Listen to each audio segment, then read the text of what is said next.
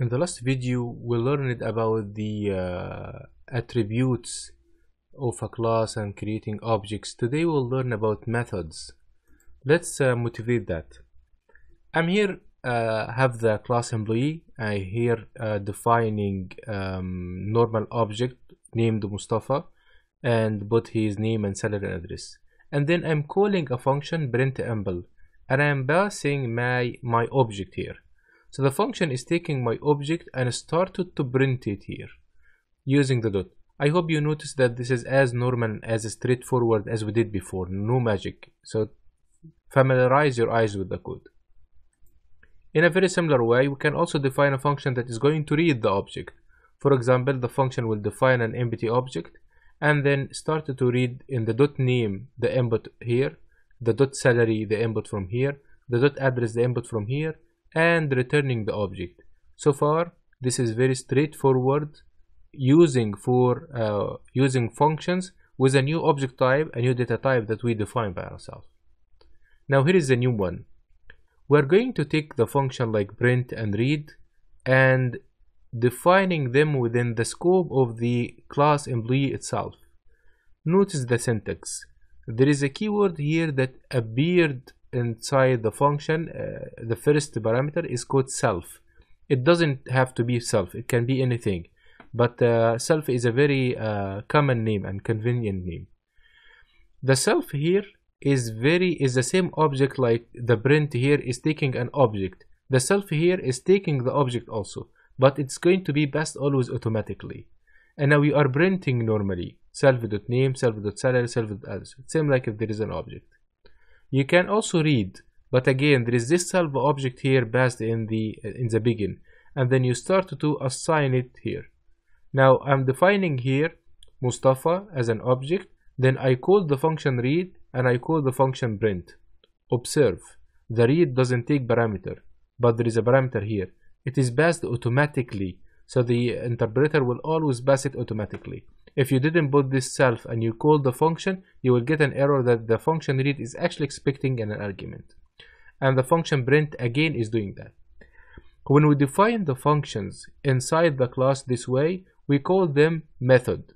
So methods are functions defined in body inside the body of the uh, employee class in this style. Uh, and again after that you are using it very very normally. Uh, I hope your eyes uh, can normally see what, what happened. We just shifted these two functions from outside to two function inside. Observe the read function doesn't need now to create an object like here or return it. The read function is now working directly on the current object. Also observe self here isn't the class. Self is an object so if you define a, a second object and a third object and a fourth object, every one of them will be called with its own self object. So self here is, is an object exactly like this object name. Um, as a nice feature in your IDE, if you try to write self dot and then you, you, you click the control space, it will open for you a menu like that. You will see here the print function, the address variable, the read function, the name variable, and bunch of other things that we should learn later.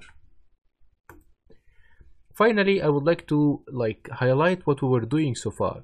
There is a concept in OOP named as encapsulation. The word encapsulation means grouping variables and functions of a specific entity together. This is what we named uh, as a class. So the very convenient now is you have one place that has all of the relevant variables which we call them attributes and all of the relevant functions which we call them methods. Now thinking about a, a, complex project say you are modeling a project about your university. You have a class for a uh, for the university and a class for every department class for an employee class for a student. And every one of them has his own attributes and methods that are together representing something about it this is going to help you a lot in the future to structure your uh, project. Uh, a side note, in, in, in languages like C++ and Java, the concept of encapsulation is usually attaching with uh, what we call hiding. Uh, in this language, there is what we call private and public scopes. and um, data th- there's a there is a philosophy to hide things from the uh, other programmers in python we have another philosophy. We have what we call like trust the other programmers.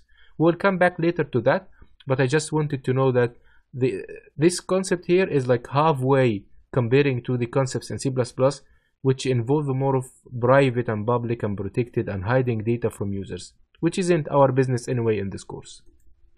That's all